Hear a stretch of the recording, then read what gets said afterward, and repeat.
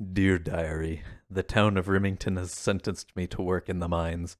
They claim my so called crimes are theft and murder of two parents, mass slaughter of goblins, and serving unsanitary food. I don't care what they say. The people and goblins deserved it, and the food is my mama's recipe. But I've found a way out. I see them sometimes in the wheat field, and I'm going after them. April 1st, 2022. Fun Chunk Man. Hello, everyone, and welcome back to another episode of Extreme Fun Chunk Iron Man.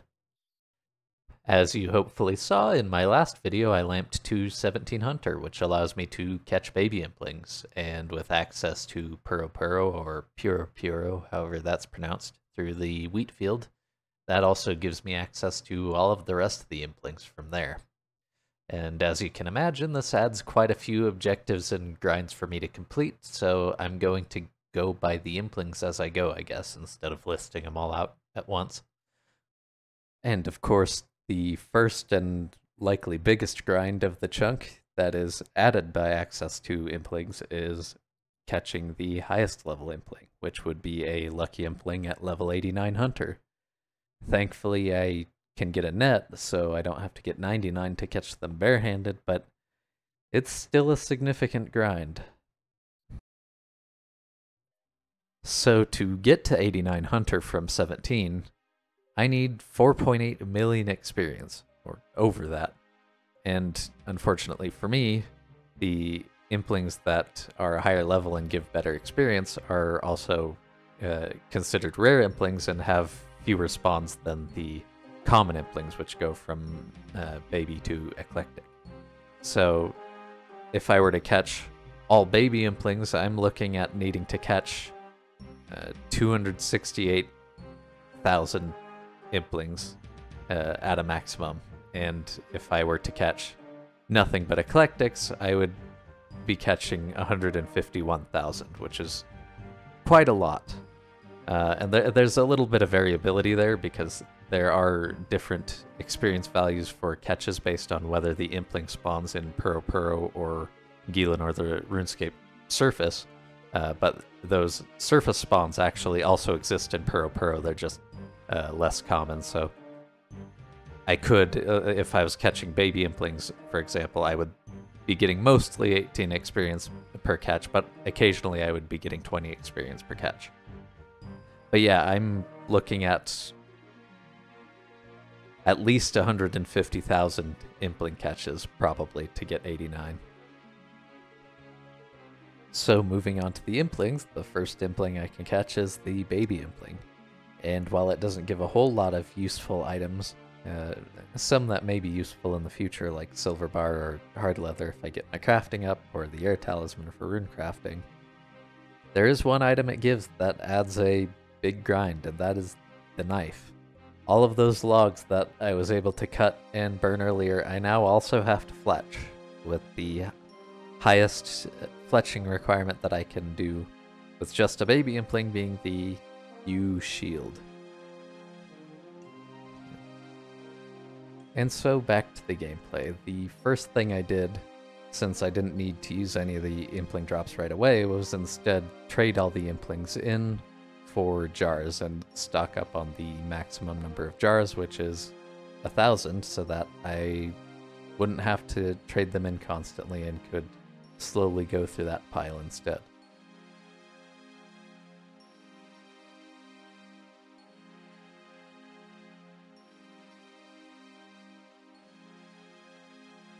There we go, 22. Now I can start kidnapping younglings.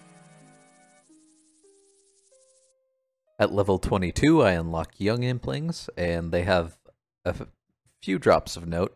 There's the Steel Axe, which will speed up wood cutting a little bit. And there are gear upgrades like the Steel Full Helm and Studded Chaps. But uh, most importantly, there is the Bowstring and Yew Longbow. So with the Bowstring, I can string uh, unstrung bows, and so I have to make those for my fletching grind. And with yew bows unlocked, I also need to get my ranged up so I can wield them.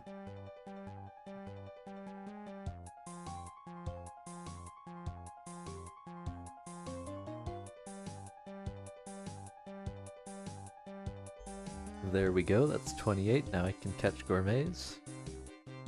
The gourmet impling at 28 hunter doesn't actually add any immediate grinds for this chunk, uh, but the food could prove useful in the future, and the garden pie in particular is going to come in handy later in this chunk, and I'll get to that. There we go, bought some imp repellent. It's uh, not something I'm ever actually going to use, but it's a thing that can be done here, so there we go. There we go, I've stocked up on a thousand jars, that way hopefully I won't need to get any more for a while. It should last me. And uh, now I can start opening them.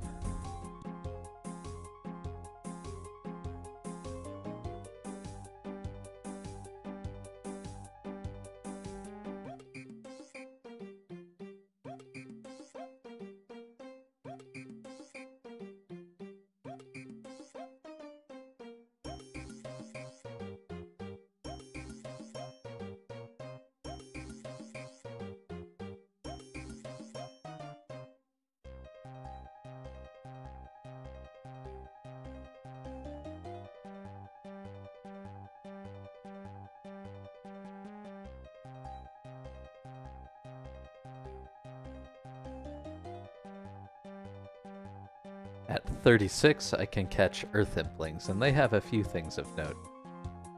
First off is the Mithril Pickaxe, which is a beautiful item that will finally speed up the mining grind whenever I get back to that. Aside from that, there are talismans, which could be useful in the future if I need them for rune crafting. There are noted mithril and coal ore, which I will talk about later, but most importantly, there are jangerberry seeds, which can be grown in the bush patch that I have in the Melzar's Maze chunk, and those require 48 farming, which means I would have to rake to 48, with raking giving 4 experience per weed rake. Not going to be very pleasant, but that garden pie that I mentioned earlier will give me a 3 level boost to farming, which means I only have to get to 45 via raking, which is still rough, but not as rough. And then, of course, there's compost and super compost to help me grow the bushes when I can.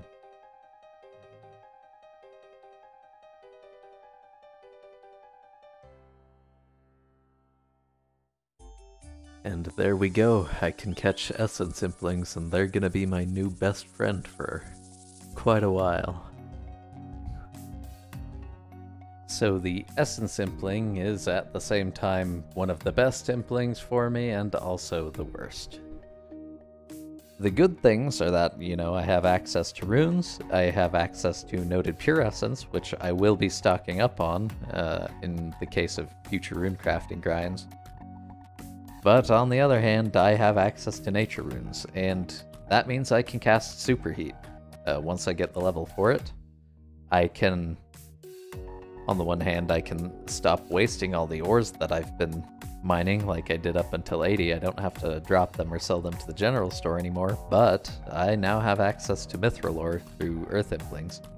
And so I'm going to have to get 50 smithing just from by superheating. Uh, so that's going to require a lot of nature runes. Superheating ore doesn't give a lot of experience, and so I'm going to be spending most of my time in Puro Puro focusing on Essence Implings and Earth Implings for the noted ores. And unfortunately for me, they have slower spawn times than all of the other common Implings, including Eclectic, which have a higher level requirement. So my experience rates are not going to be great, even from a Puro Puro standpoint, and that's unfortunate. Additionally, I'm going to be saving most of my inventory space for impling jars, just so I don't slow down Hunter even more. So I'm not going to be keeping most of these runes aside from the fire runes, nature runes, and noted pure essence.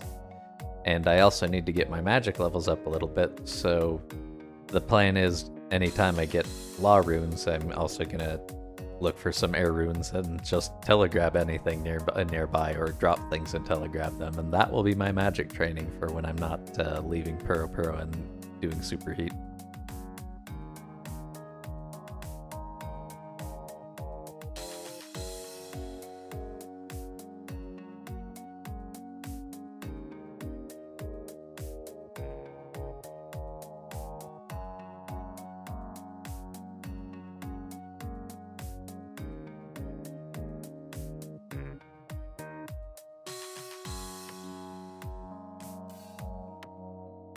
Eclectic Implings drop a few useful gear upgrades the shield, the Dragonhide Chaps of Vambraces, Rune Dagger, a Battle Staff for auto-casting magic, but they also drop Adamant Ore, which means I no longer have to smelt Mithril Ore, but rather I have to get 70 smithing superheating so I can superheat an Adamant bar. With Nature Runes being a 1 in 100 drop from Essence Implings for 13 at a time, doing the math, I'm looking at an estimated 254,000 Essence Impling catches to hit 70 smithing. And I'm definitely not going to be catching nothing but Essence Implings, and that's still well above what I need to get 89 Hunter. Uh, some of it can be offset by lamps and books and the occasional nature rune from maze random events, but this is still by far the worst grind in this chunk, and frankly, depending on where I'm at, by the time I hit 89 Hunter, I may backlog it until I get a more reliable source of nature runes. Until then, I will focus on essence implings and try to get my smithing as high as I possibly can. But getting close to 99 hunter in Puro Puro just to get 70 smithing via superheat for nature runes that are very rare is frankly something I don't know if I'm going to be willing to put up with. I had until this point been spending lamps and books of knowledge on agility because run energy is very useful in Puro Puro, but here I realized I needed to use them on my actual grinds, and so I decided after I hit level 2, I would put them in farming until I hit 45 and got that done and could train that in a way other than raking, and then after that throw all of them on smithing until I finally finish this grind.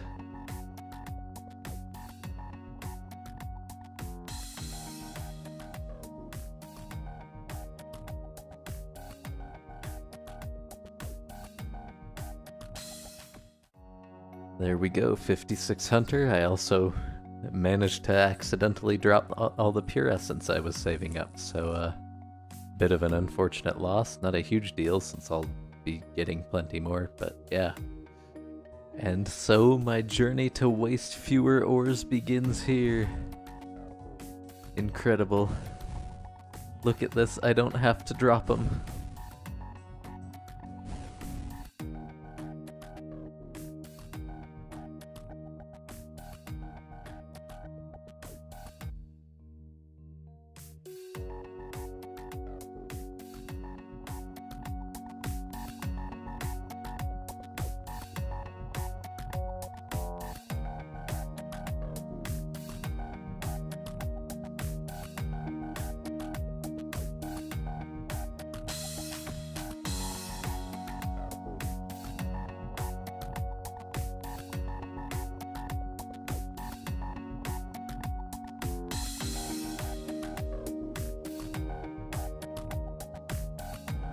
Here we go, finally starting my fletching grind.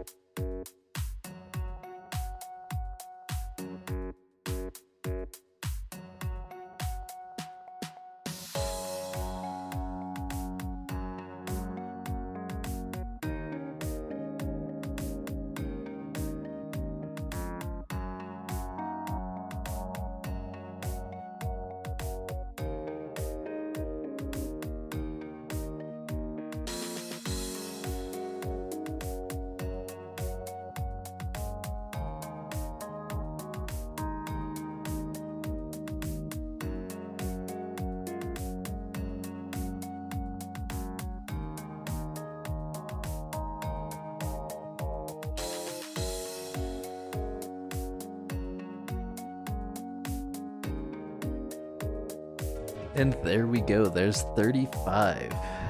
The one willow tree in this chunk gets to be my friend for quite a while going forward.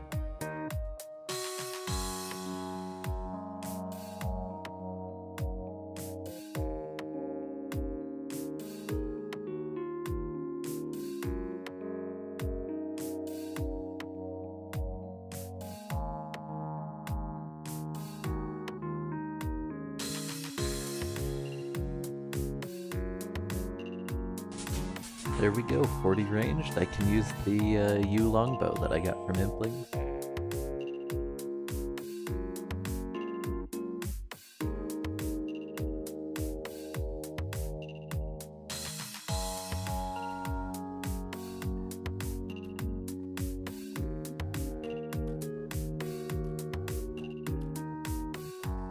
Nice.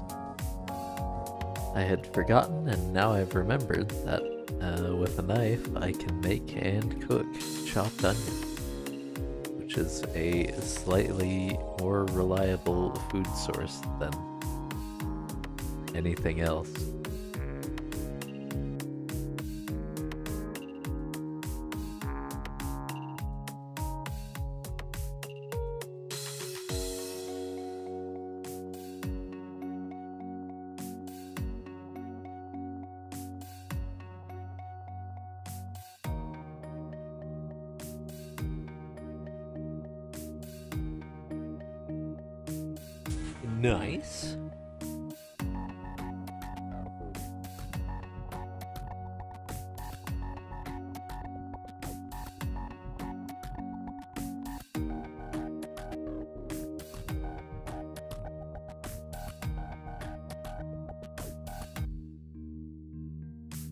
And there we go, finally 75 fletching. I can uh, make shafts out of magic logs now, and uh, yeah, I, I get to, I'm gonna go back to Puro Puro and uh, I'll get 80 at some point in the future so I can make actual bows, but at least now I can not waste any magic logs that I get from nature implings, so...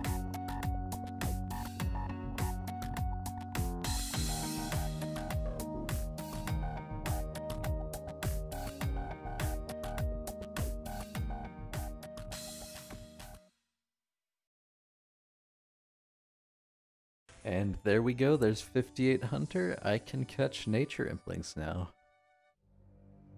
Nature Implings are the first of the rare Implings. Unlike the other Implings before them, which all have their own individual set spawn points, the rare Implings all share two set spawn points in the corners. And then there's the occasional rare Impling that might show up from one of the random surface spawns in Puro Puro, so they're a lot harder to come by. I'm going to go over all of them at once to get the rest of my requirements listed. So to start with the nature impling, they don't have a whole lot that is useful to me right now. They do have a more common Jangerberry seed drop, which is nice, but most importantly, they drop magic logs, which means I can now make magic bows and magic shields, which raises my fletching requirement. The Magpie Impling is wonderful because it gives me a whole host of nice gear upgrades like the Amulet of Power, gloves and boots, a rune square shield, rune weapons, uh, dragon dagger if I ever complete Lost City, but it doesn't currently giving, give me any extra grinds. Uh, the rune bar and diamond could be worrisome in the future, but for now I don't have to care. Ninja Implings at 74 Hunter also gives some very nice gear upgrades, as well as a source of much needed prayer potions. But they give Onyx Bolts. Onyx Bolts require 61 range to equip, and they can be enchanted at level 87 magic, with the highest level spell that is available to me with the runes that I can get from Essence Implings. Which is why, as I mentioned before, when considering runes and spells for chunk tasks, it didn't actually matter because these guys are going to make it so I have to get to the highest level spell I can cast anyway. The Dragon Impling at 83 also gives some very nice drops, particularly the Amulet of Glory and the Dragon Bones of Baby Dragon Bones, but the weapons and seeds could be useful in the future too, as well as the summer pie. The problem? They give dragon dart tips, and I can get feathers from the maze random event, which means my fletching requirement for this chunk is raised once again to 95 fletching. And finally, there's the end goal here, the Lucky Impling at 89 Hunter. This Impling gives a random reward from any tier of clue scroll aside from beginner, and so it's not going to give me any other requirements up front. It's going to be if I get an item that requires me to do something else, then I will do something else, much like random event rewards or rare drops. And so here finally is the full list of goals that I need to reach to escape Rimmington after being here for a full year and still having more to do. And with that, I will leave you to a montage of the rest of the footage that I have saved up until this point. Enjoy.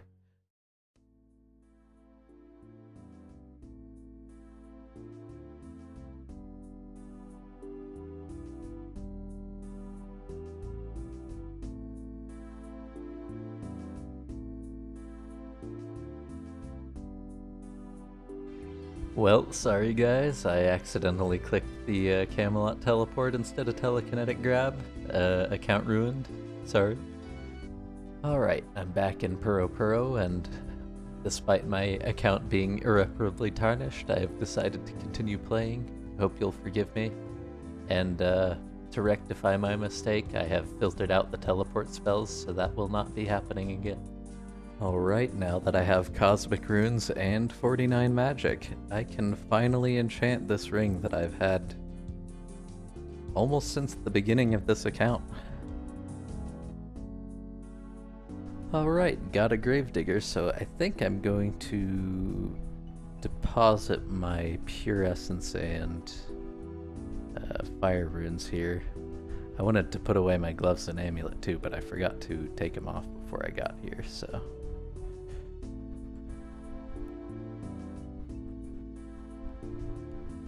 Alright, I got another gravedigger, and this time I remembered to take my stuff off so I can bank them in preparation for the new stuff that I will get from Magpie Implings shortly. And with this, I finally have 65 Hunter, and I can go catch uh, Magpie Implings.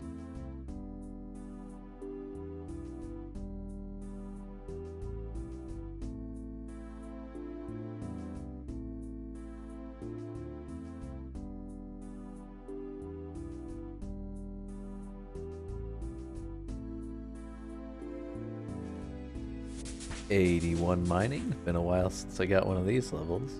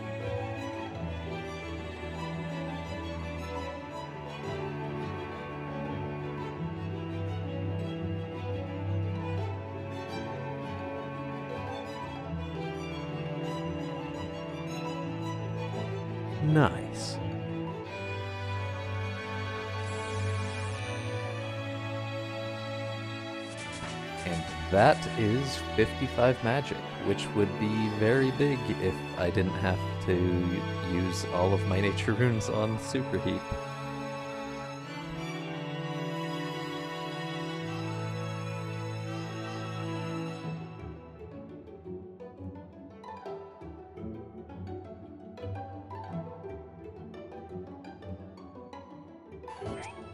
And there is 61 range. That is my range goal. And there is 58 magic and 1000 total. And I think that's a good milestone to end part 3 on. So I'll uh guess show off some things. Here here are my current stats. My time played 63 days and 1 hour. Here's all my loots. Well, maybe not all. I mean, let's see. Let's check my impling count. Yeah, I've got 15,000 essence implings, but my loot only has a little less than 9,000. Yeah, there's my impling count. Here's some of my loots from my time playing so far.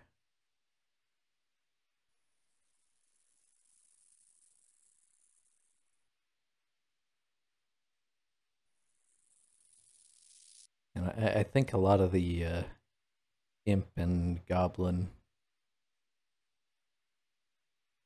data was lost at some point, probably around leagues, but yeah, that's uh that's where I'm at. And that is the end of the three-part intro to my series. Thank you to everyone who has watched, liked, commented, subscribed, and otherwise supported me so far. Uh, it'll likely be a while before I upload another video for this series because I have long grinds ahead of me, but relatively little content from those grinds. So depending on how long this takes, I may do a mini update video, or I have an idea for a different series that I don't think has been tried yet. Uh, so to fill in that content gap, however long it is, we'll see what happens.